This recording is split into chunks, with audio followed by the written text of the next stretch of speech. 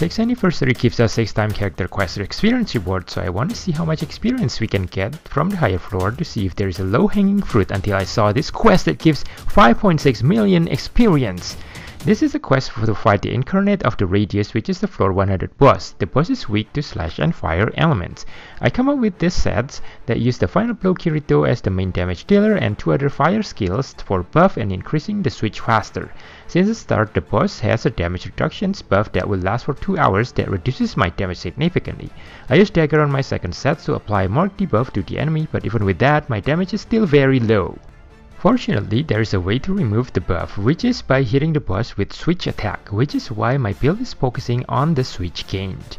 In the board quest, when we hit the boss with switch attack two times, the damage reduction buff will be removed, and that makes the fight a lot easier. The damage with my Vigor Sword skill is still not that high because the boss has a really high defense. However, my Mod Sword with Mark debuff can now do a decent amount of damage that makes me confident that I will be able to kill the boss with a decent time. I use my rush when my switch is filled up knowing that the fight will be a long one and my rush will be filled up again when I need it. The boss uses a lot of attack that can knock us back making it difficult to get close to the boss to deal damage. We also will get a defense debuff when we got hit by a certain attack which will reduce my damage significantly because my mod sword damage rely on my defense stats. Each of one of the boss's attack also inflicts Scorch that will deal damage for seconds and reduce our damage. Therefore, I equip this ring and EX skill that give me 100% burn resistance. I also equip this ability skill that will heal me by 4.2% when my HP drops below 50% to increase my survivability. The fight goes on until I drop the boss's HP to 50% where it's time for my connect skill to shine. Because the boss will use the break move and if we fail to break the boss it will heal itself every 3 seconds which can get its AP back to almost full. Fortunately I have these two of the best break sword skills and I attach those to my Heathcliff's connect skill which is a decent break skill itself.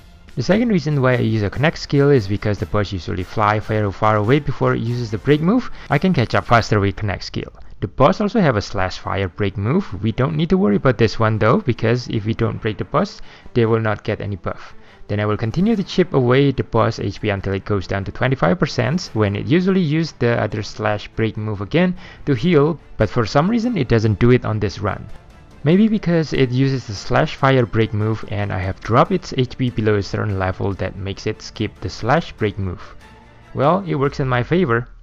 It is coming to the last stretch, but the boss keep on running away from me and pushing me back as if it knows it was about to die and try to get away from me.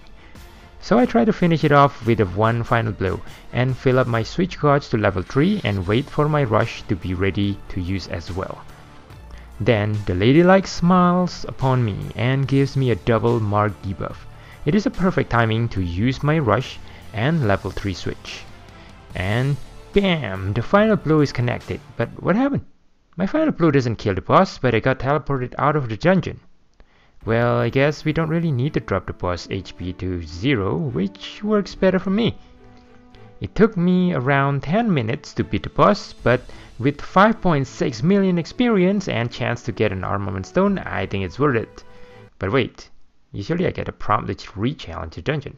How come it's not there? I also cannot open the bulletin board quest list too. What? Where did everyone go?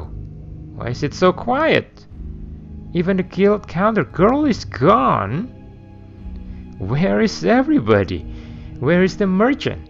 Where is the blacksmith? And a trader? And why can't I get out of this map? This is weird. Looks like I have been teleported to an instant dungeon where nobody is around by the boss.